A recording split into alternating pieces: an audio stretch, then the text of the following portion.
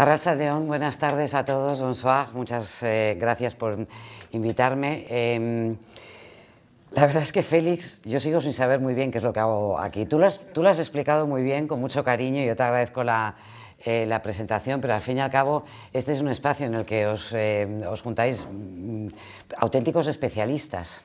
Eh, buenos conocedores de las, de las, ciudades, de vuestras ciudades, de ciudades parecidas, de los, eh, de los, retos a los que os enfrentáis y tenéis una voluntad clara de unir eh, todo vuestro conocimiento y vuestras ambiciones y vuestros sueños también en, en, conseguir, en conseguir algo. Cuando Félix me llamó le dije, pero es que, es que yo no sé qué pinto aquí. Y él insistió, no, no, tienes que venir, queremos una mirada eh, desde fuera, bueno, pues aquí tenéis una mirada no de una especialista, eh, sino de una simple periodista generalista, que os voy a explicar exactamente lo que es, porque posiblemente muchos de vosotros no me, no me conozcáis, es verdad que llevo más de 30 años trabajando como, como periodista, 15 15 de ellos en televisión, pero empecé en la radio y luego volví a la radio más tarde. He trabajado en prensa escrita, he sido redactora, he dirigido informativos, espacios de, de opinión, de tertulia, de, de debate. No sé, mm, he entrevistado a, a, cientos y miles de, de personas muy interesantes. Por lo tanto, podéis asumir, y no os falta razón, que sé mucho, sé mucho de muchas cosas, ¿eh? de política nacional, de política internacional, de economía, macro, micro, ¿eh? lo, que, lo que queráis, de arte y de cultura, de cultura, de alta cultura y también de cultura popular. Y ahí podéis eh, incluir pues, música, arte, arquitectura, urbanismo, diseño, ideas, literatura, lo que queráis. Eh, tengo conocimientos también sobre ciencia, sobre física, sobre astronomía, sobre sanidad, sobre nutrición, sobre transporte, sobre turismo, sobre toros, sobre fiestas regionales, también sobre gastronomía. Como periodista generalista que soy, también soy una gran conocedora de, crisis, de conflictos armados, de conflictos étnicos y religiosos, de migraciones, de globalización, de cambio climático. Hice un documental además sobre cambio climático, de sostenibilidad, sobre pobreza, sobre hambre y exclusión. También he tratado y he hablado mucho sobre los grandes desafíos de nuestro, de nuestro tiempo, sobre la desigualdad social, la robotización y todo eso lo que, lo que implica, la despersonalización, la falta de empleo, el desempleo, los autónomos, sobre la jubilación, sobre el envejecimiento de la, de la población. También sé mucho sobre feminismo, sobre machismo, sobre micromachismos, sobre acoso sexual y sobre acoso escolar. Además, como desde hace cinco años y medio, recordaba Félix que dirijo, me lancé al mundo digital, eh, al Huffington Post, que es la edición española del diario norteamericano, pero luego tiene ediciones en todo el mundo. Así que a todo este bagaje de conocimientos ahora le he añadido unos cuantos más. Así que eh, puedo presumir de conocer bien Internet, Facebook, Twitter, Instagram, Snapchat, redes sociales en general, aplicaciones que nunca habíais soñado que podíais tener en vuestro móvil y que, y que están pero sé también de algoritmos, sé de memes, de hackers, de, virales, de clickbaits, de fake news, de noticias falsas, de apps, de tics, del Internet de las Cosas y, por supuesto, de Smart Cities. Eh, es verdad que en los últimos días eh, mi mm, grado de especialización, y casi le agradezco a Félix que me haya traído aquí porque me ha permitido salir de esta burbuja, lo que estoy haciendo es un máster en conceptos como nación, derechos históricos, Estado de Derecho, democracia, legalidad, legitimidad, derecho a votar, derecho a la autodeterminación, constitucionalismo, unionismo, independentismo, soberanismo, secesionismo, sedición, traición, rebelión, presos políticos o políticos presos, que es a lo que estamos los periodistas eh, haciendo de manera eh, absorbente durante, durante las últimas semanas.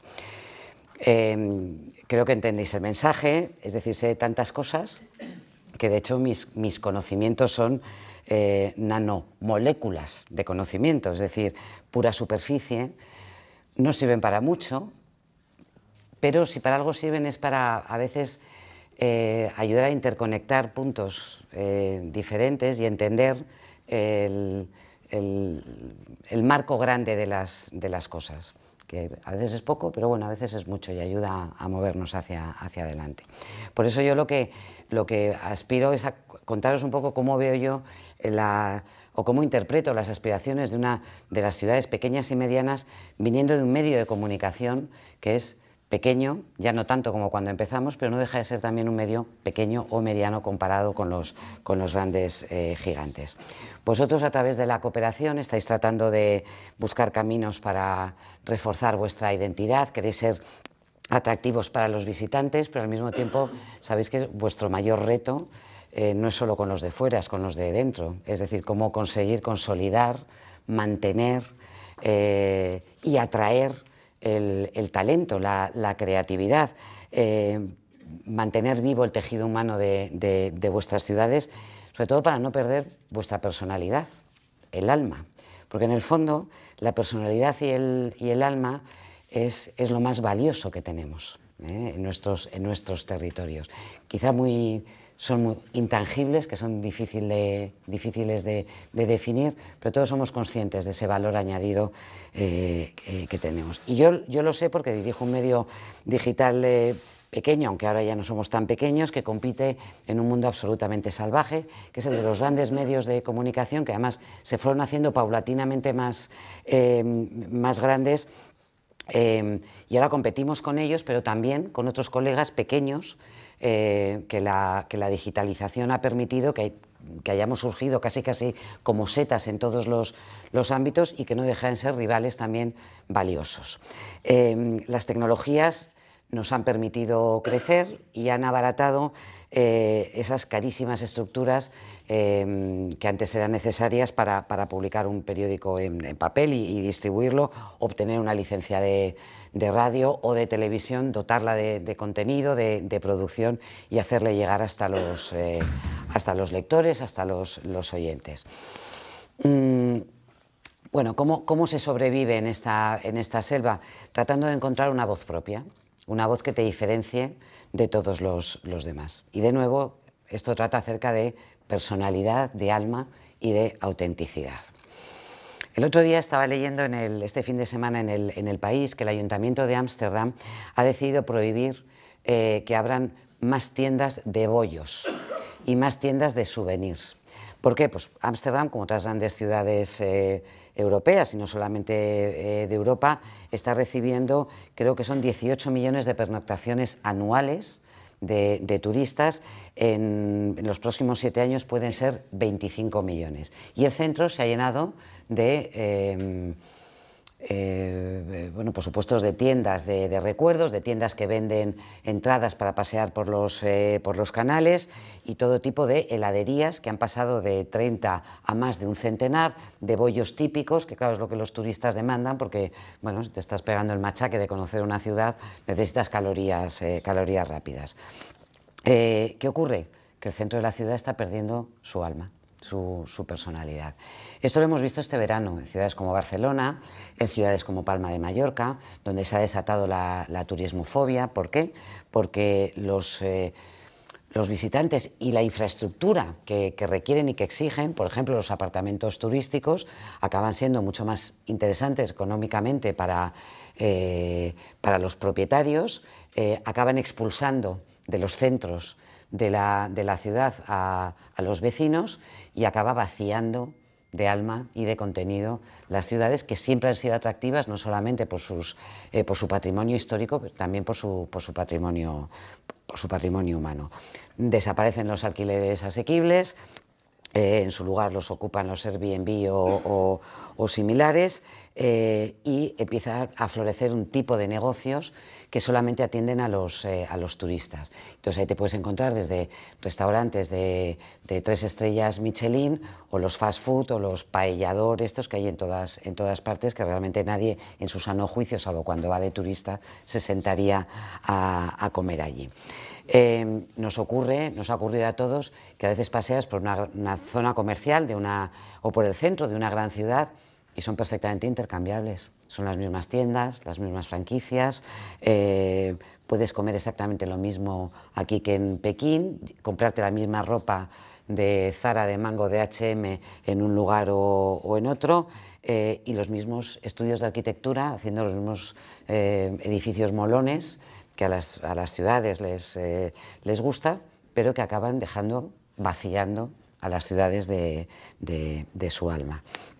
Bueno, lo que ocurre es que las ciudades pierden, pierden, pierden su sabor. Y eso, de alguna forma, aunque os parezca un poco friki la comparación, le ha pasado también en mi mundo, en los, en los medios de comunicación.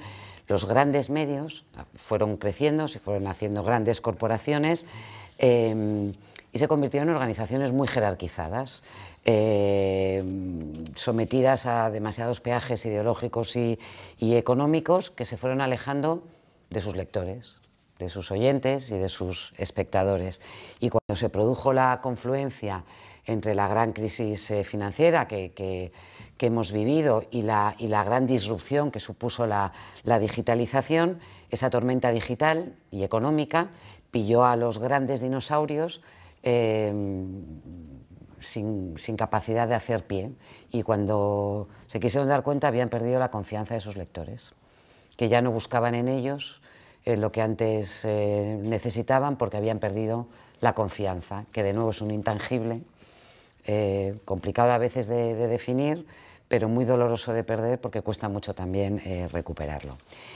Eso ha sido una oportunidad para los medios más, más pequeños o medianos, como, como nosotros, porque nos ha permitido recuperar el pulso de la calle, venir con una actitud más humilde, más próxima, escuchar qué es lo que estaba pasando en nuestras plazas y en nuestras, y en nuestras calles.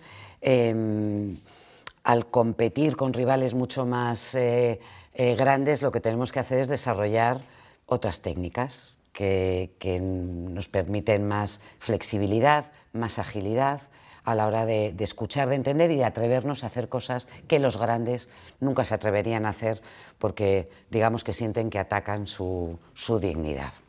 Em, cuando nosotros empezamos, arrancamos el Huffington Post hace cinco años y medio, nadie utilizaba Facebook para, informarse y ahora es la principal fuente, no para los más jóvenes, pero sí para los, adultos, de transmisión de información. Apenas había vídeo, y ahora es la gran estrella, todo el mundo se comunica, todas las informaciones obligatoriamente tienen que llevar un vídeo, un componente eh, visual. Em, los grandes medios entonces recelaban de toda esa información que tenemos a través de Internet. Es decir, nosotros sabemos al, instante, si yo me conecto en el móvil, puedo saber exactamente qué noticias del Huffington Post de hoy se están viendo y se están compartiendo más en las redes sociales. Los grandes medios no querían ni saberlo, querían tener especialistas que se ocuparan de, eh, de, las, de las cifras. Nosotros entendimos que un medio pequeño, ya no tanto como, como el nuestro, lo que, lo que necesitamos es que todos y cada uno de los que trabajamos allí tuviéramos esa herramienta en nuestras manos para entender qué es lo que pedían los lectores de nosotros y, saber, y ser capaces de ofrecérselo eh, más y mejor. Em, nosotros entendimos que era fundamental la colaboración y la cooperación. El periodismo ciudadano, que es un concepto un poco, un poco vago y que desde luego a los grandes les producía urticaria, eh, nosotros entendimos que no había otra forma de, competir si no era asociándonos con, con nuestros lectores también y con todo tipo de, publicaciones, porque juntos somos más grandes y somos capaces de llegar a, más sitios. Y os voy a poner un ejemplo que creo que os interesa, porque os he oído hablar mucho ahora de, turismo, de, viajes.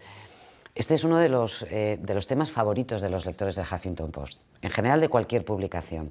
¿Por qué? Pues porque cada vez viajamos más, eh, el hecho de que existan vuelos y pernoctaciones low cost nos invita a todos a, movernos mucho más de lo que viajaban nuestros padres o, nuestros abuelos. Eh, pero lo curioso es que los periodistas ya no somos los prescriptores. Te fías mucho más de la opinión de gente como tú.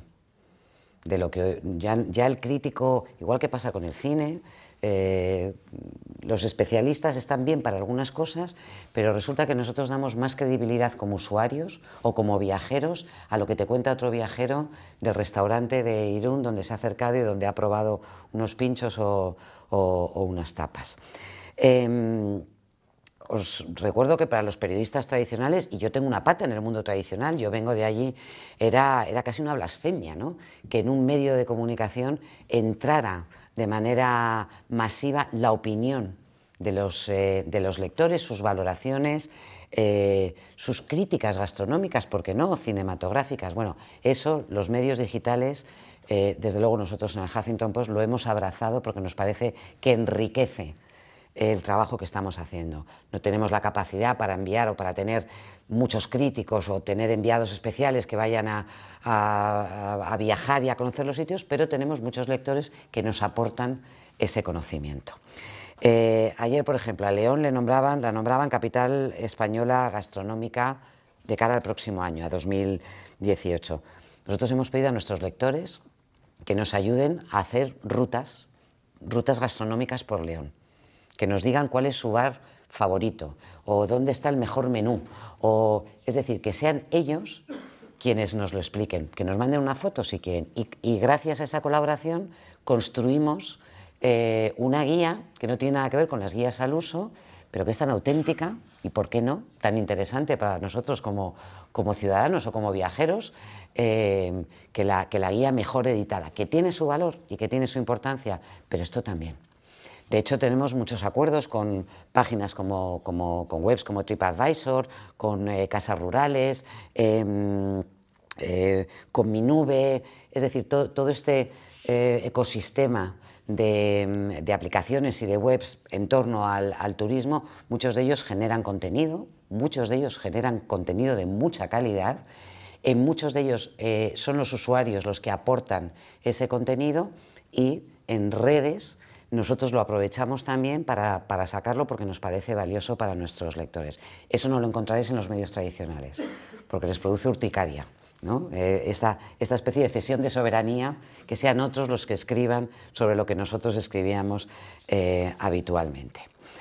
Em, hay otras fórmulas ¿no? para invitar a la participación de los lectores, creamos mucha rivalidad, y es, mm, cuéntanos cuál es la mejor plaza de pueblo. Son, creedme, eh, piezas eh, que a nuestros lectores les encantan. Y a la gente le encanta participar. Y le encanta colgar una foto de, su, de la plaza de, Irún, porque para tú, ¿quién mejor que un irunés que es para explicar por qué esa plaza es bonita o qué encanto tiene o qué, y jugar y competir y ver las demás y ver cómo cada uno defiende, defiende lo suyo. Hay un concepto muy interesante que seguro que conocéis, eh, pero es que nosotros hemos descubierto con, el análisis de Google, de las palabras, que es la palabra escapada. Más allá de los grandes viajes, la gente lo que quiere son hacer escapadas. Y quiere sentirse eh, no un turista, quiere sentirse un viajero quiere sentirse cómodo dentro de la, ciudad, no quieren cartón piedra, no quieren un parque temático. A veces sí, ¿no? ¿Por qué no? Te puedes ir a un parque temático, pero cuando vas a una ciudad quieres sentirte parte de ese, de ese entramado. Y eso es lo que ciudades, pequeñas y medianas, tienen una capacidad todavía muy, muy mm, virgen para, para explotar y para, y para ofrecer.